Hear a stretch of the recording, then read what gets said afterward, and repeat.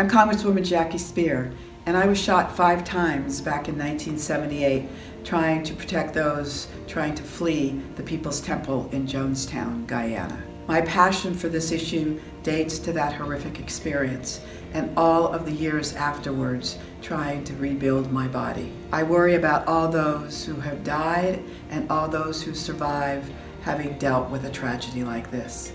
I've authored legislation in the state legislature in California on assault weapon bans. I've authored legislation here in Congress on comprehensive background checks. I have a commitment to this issue that will be with me the rest of my life. It's time to end the mania.